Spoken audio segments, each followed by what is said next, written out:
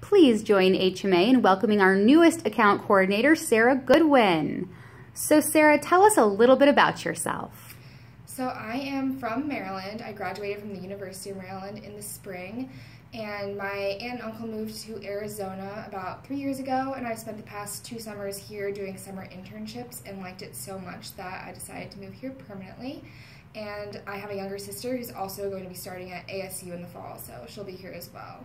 Fantastic. And in addition to some great public relations internships you've had all over the country, tell us about some interesting local experience that you're bringing to HMA.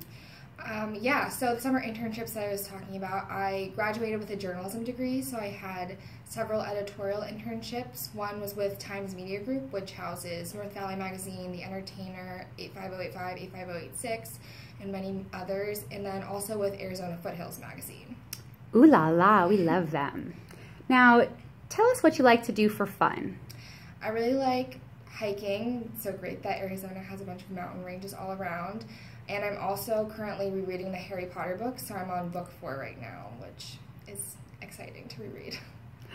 Now tell us one fun fact about Maryland. It is on the other side of the world for us. We have a state crustacean, which is the blue crab because we're known for our crab cakes and picking crabs and things. Fantastic. And finally, even though you're a little bit newer to the area, tell us about some of your favorite local restaurants so far. One of my favorites is True Food Kitchen. Everything they have there is so good and it's so good for you too, which is great. Fantastic. Well, thank you for joining HMA. Everyone, look for her story pitches, look for her amazing writing, and of course, look for her on the HMA blog starting today.